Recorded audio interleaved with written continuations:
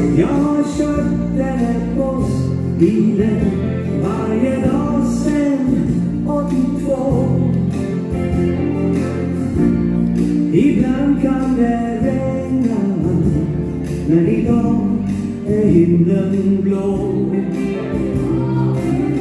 Jag bär ord och tankar och siffror, löften och spel. Bibliotekarie i livets bibliotek.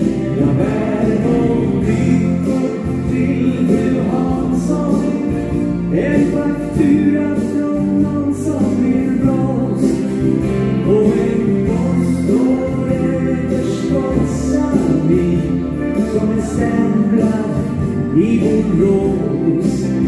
Ett paket till lilla